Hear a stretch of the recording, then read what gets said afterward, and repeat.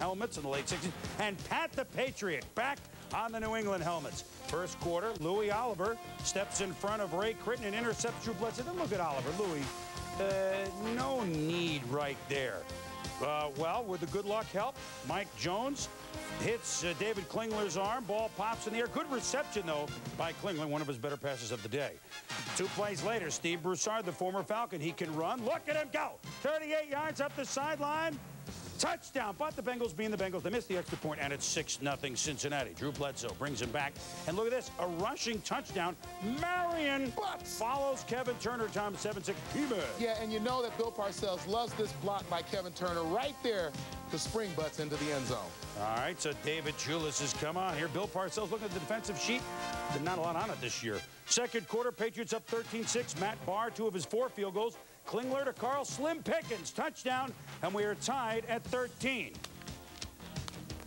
Then, just before the end of the half, Bledsoe. Look at this. The Ray Crittenden, who's made some circus catches, couldn't hold on to this one.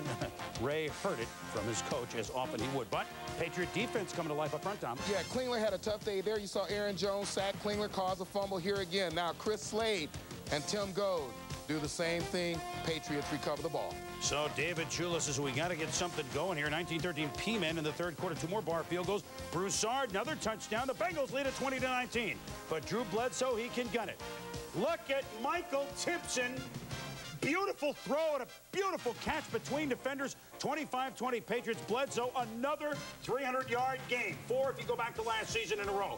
But Klingler to Pickens makes it a 31-28 game late. The Patriots by three. The outside kick.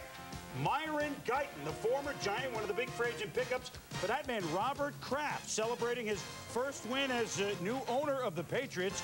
And New England, well, they, they get the Bengals back in it, but a good win again. The Patriots scoring over 30 for points, and they win it by the count of 31 to 28.